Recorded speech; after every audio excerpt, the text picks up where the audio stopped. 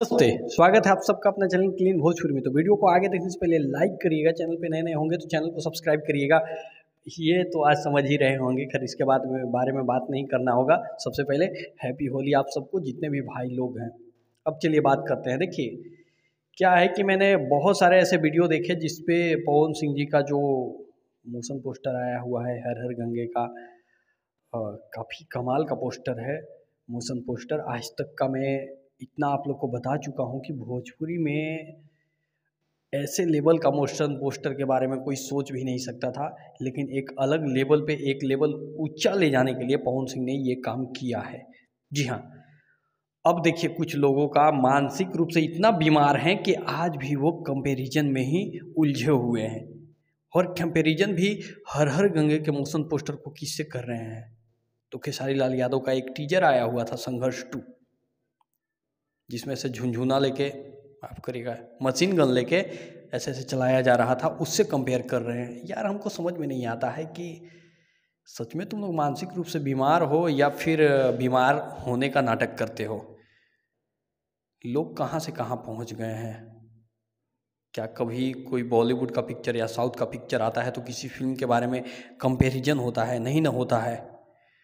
तो इस फ़िल्म और उस फ़िल्म में क्या है, नहीं है? वो तो आने के बाद पता चलेगा, लेकिन ये जो मानसिक रूप से बीमार लोग होते हैं, वो पहले से कंपैरिजन करना शुरू कर देते हैं। और मैं ये सौ परसेंट नहीं, बल्कि दो सौ दस परसेंट ये गारंटी देना चाहता हूँ कि संघर्ष टू से पवन सिंह जी का हर हर गंगे जो है, वो लाख गुना बेटर पिक्चर है, क्योंकि इस पर कॉन्सेप्ट पे काम किया गया है। ये जो पिक्चर है ना, इसमें स्टोरी डाला गया है। और मोशन पोस्टर में इतना कुछ दिखाया गया है कि संघर्ष टू में टीजर में भी नहीं दिखाया गया है। टीजर में वही आ, सेम स्टोरी दिखाया गया है कि एक माँ जो है माँ को सपना पूरा करने के लिए बेटी जो है वो आगे आती है और उसका सपना पूरा करती है। लेकिन ये जो फ़िल्म का कॉन्सेप्ट है हर हर गंगे का जितना पोस्टर से पता चल रहा है कि मानवता के लिए है इंसान को कैसे जीना चाहिए उसके ऊपर है। ये एक नदी के ऊपर है।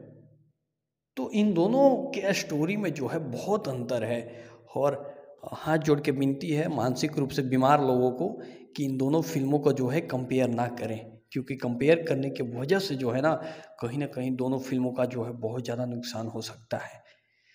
तो यहाँ से जो बीमार हैं, बीमार रहें हाँ आप फ़ोटो खिंचवा ले रहे हैं पवन सिंह के साथ, वो अलग चीज़ है। बाकी आप लोग को क्या लगता है, ज़रूर कमेंट बॉक्स में कमेंट करिएगा। Love you all